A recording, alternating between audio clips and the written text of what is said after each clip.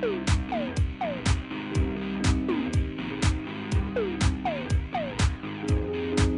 to LTG. This is Rad. I'm here joined with Hendrik to show some of the new products from Hyperjuice. Hey Redford, how are you?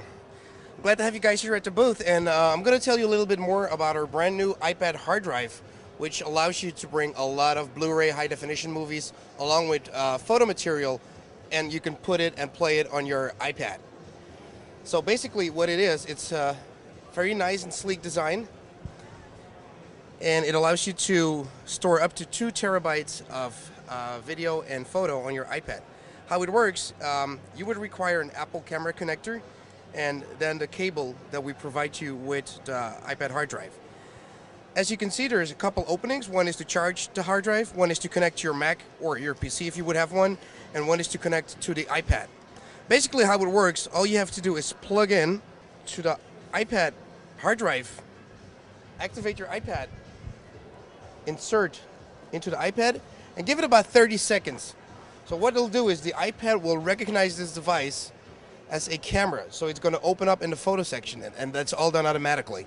Now the beauty about this is that the iPad is actually your browser to see what's on your hard drive. So whatever folders you made or created on your Mac, you will be able to watch and control that through your iPad. It is actually uh, all done automatically by the iPad. You do not have to install any application or any software on your iPad. It will just all be done from that iPad hard drive that we offer. So all you would have to do is select the files you would like to import on your iPad. For example, I'm going to open up this demo folder. I'm going to select it first, import it, import selected.